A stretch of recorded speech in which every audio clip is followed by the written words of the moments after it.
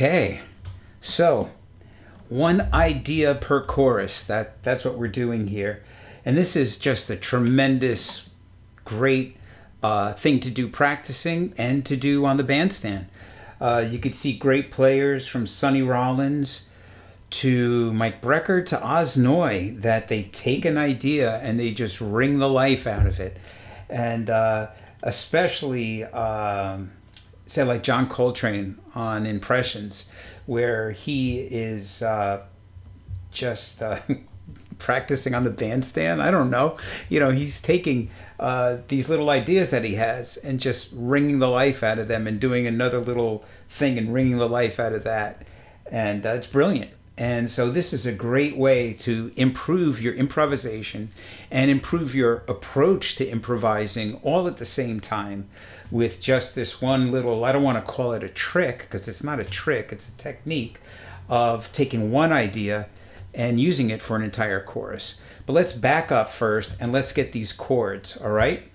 Because the chords to me are as equally important and interesting as the solo. So the chords, we're in the key of G. And again, you know, I say that with a grain of salt because the first chord is G7, and I don't want to say we're in the key of G7. So pretty much everything is centering around G, sort of like a G blues. And uh, I guess it's not sort of like a G blues. I guess this is a G blues. And uh, so the first chord I play is the G13. But I don't play the hmm. root because, again, the bass player is playing the root. So I'm playing the flat hmm. 7, the third, and the 13. And that's all starting the third fret with my first finger on the fourth string, with the F, then the B with my second finger, and the E with my third finger. And then to sound the four chord, I just drop my two bottom notes. And so if I'm thinking of C here, that's the next chord, I have the third, the flat seven, and the third again. So, right? Now here, I just move up a half step. You could think of this a lot of different ways. Uh, if you're thinking of the five chord, uh, you know, because we're doing a setting up the four chord. So you could think of this as a D7 sharp nine with no root. It's the same fingering, I just move it up a half step. Four chord, one chord. Now we're going to do two five into the four chord. Now here I'm substituting G7, I'm substituting a D flat 13, then a D flat 9, no root. And then we go into our 4 chord, which is a C9, no root, then a C minor 9, no root, to an A flat 13, no root. So let me do all that again. One chord, four chord, one chord, this two five, into the four chord. Minor four, flat seven, 13. And now we got to get our way to the six chord. So I start like I'm going to go down chromatically. But then I go right away to my E7 chord. And if you notice, I'm using a lot of this. There's a lot of that sort of sound in, in this progression. So I come up here, Jimi Hendrix chord, E7 sharp 9, E7 flat 9. Now I'm going to walk from my A, all my 2 chord, all the way up to my 5 chord. There's my 4 chord, my 5 chord. I'm going to keep going till I get to the 1 chord, to the 6 chord, to the 2 chord, to the 5 chord. And then ending on my G13.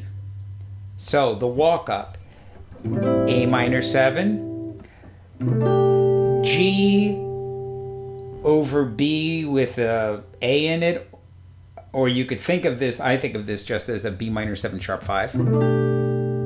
The four chord C major 7, nice and happy. Then again, I think of this as a C sharp minor 7 sharp 5. You could call it an A7 in first inversion or an A in first inversion with a B in it, add 2. Then I go to the 5 chord, regular old D7, E minor 7, F diminished, D over F sharp, but I want to have this uh, A on top. Then I proceed to the 1625. G, all these are nine chords. G9, E9, uh, A minor 7, D9, and then G13. And that's the chords. So again, don't don't gloss over those. You should practice those. Play along with the recording. They're great. They're to me uh, you can improvise chords as much as you can improvise uh, single notes. So do it. Okay, so now on to the four different ideas that I used. One idea per chorus. So the first idea is pedaling a note on top. And then the uh, second idea was playing sixths. The third idea was playing a blues riff. And the last idea was playing uh, long pentatonic riffs.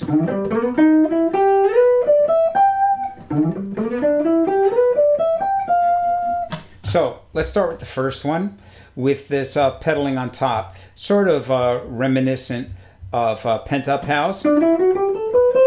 But I go as opposed to.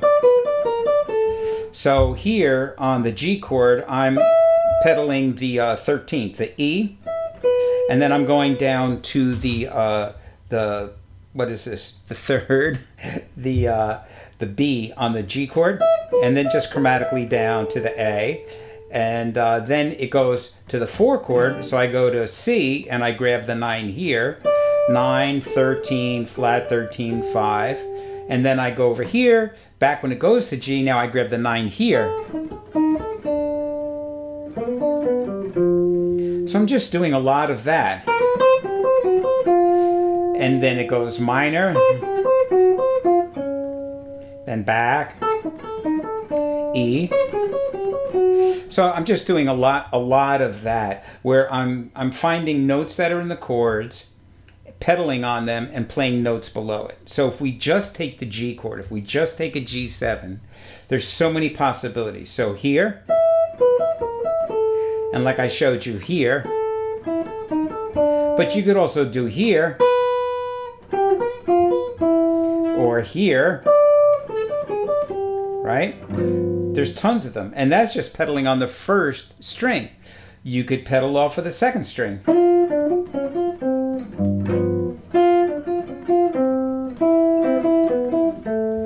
Or even here. So there's just tons of stuff that you could do. So that technique is pedaling a note on top and then dropping three chromatic notes below it.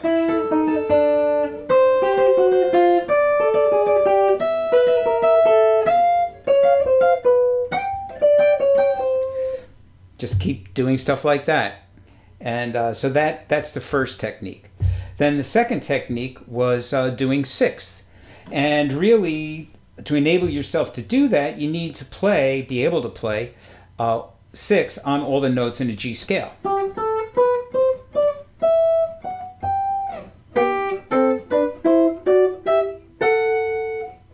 Now in this instance we have a G7. So our seventh is there, you know, is flatted.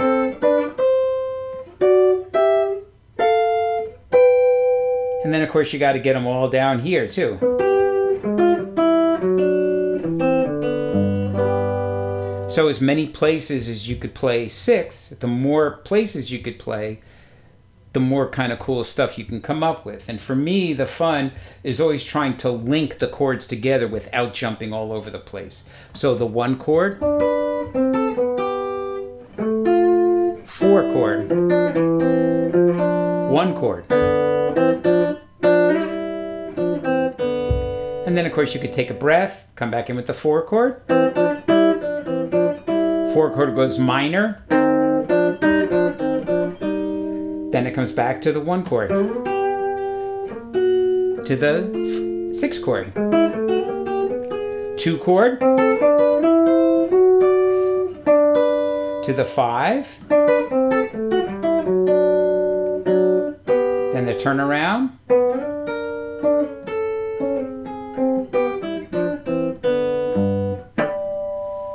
And so there's, you know, you could do just endless choruses. You could sit down and practice, do a play along, and just do the whole thing on six. Nothing but six chord, you know, six, the interval.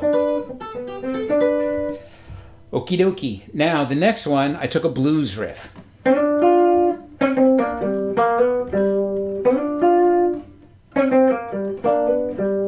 So here I'm doing the the fifth and the flat seven of G, D and F. Then the blue note. So the blue note here is the flat fifth. It is the D flat, C, flat third, major third, root. When it goes to the four chord, I could still play this, but then I want to get this B flat to sound that four chord. Then back to the one chord. And then of course we go to the four chord. Four chord goes minor. And then back to the, I guess the one chord, if you'd like. And then the five chord. I think that's what I did there. And I think I only did that because I ended up here. You know, I ended up. So I, I kind of thought of this. Again, I'm just doing one, two, chromatic approach, three. So easy peasy. And then I just kept going with that idea for the for the remainder of the chorus. So now onto my fourth idea, and uh, my fourth idea was I wanted to do um, pentatonics. So I did this sort of another sort of classic pentatonic thing.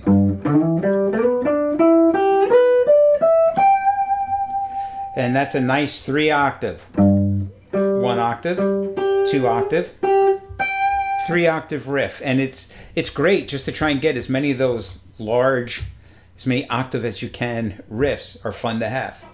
So here I'm playing uh, G, and then I'm sliding up to the sixth, going to the root, uh, and then I'm doing the third, the fifth, uh, the sixth and the root, third and fifth, sixth and root, and then I go to the flat seven. Then when it goes to the four chord, so here, root, third, fifth, sixth, root, third, fifth, sixth, root. You guys can come up with your own fingering. I kind of like this because I get that slide.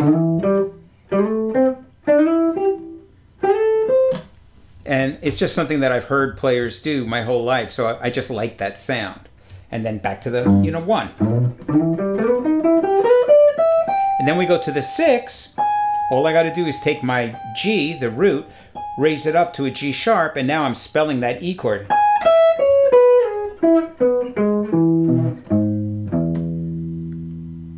Then for my two chord, I think I treated it more kind of like a C chord. Then the five chord. And then I think I just ended with octaves. So again, you know, when you're doing these one idea per chorus, obviously once in a while in these things you're going to, you know, just do something a tiny bit different, but it's the concept that you're taking an idea and trying to milk it for all it's worth.